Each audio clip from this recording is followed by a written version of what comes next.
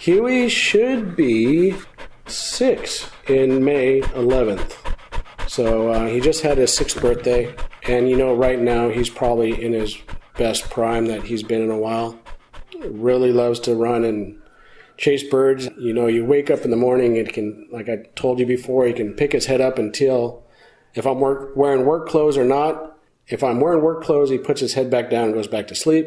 But if it's going to be outdoor clothes and heaven forbid I put the whistle around my neck, and uh, it is everything we can do to contain them from taking the door off before we can go outside and go hunting.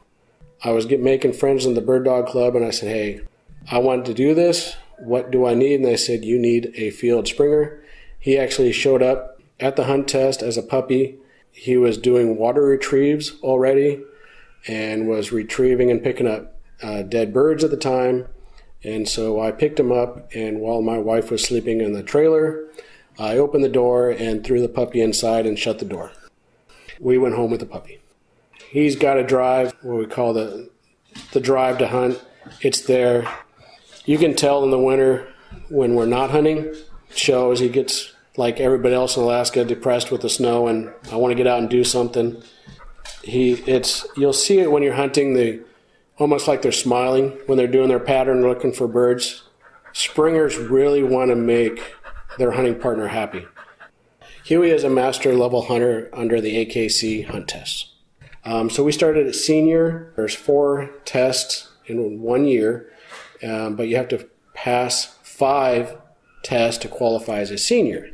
So that took me two years to get that. We actually failed one senior test.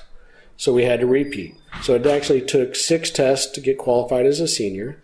And then we went into masters. And again, it needs five more tests. And there was a master level in there he failed also.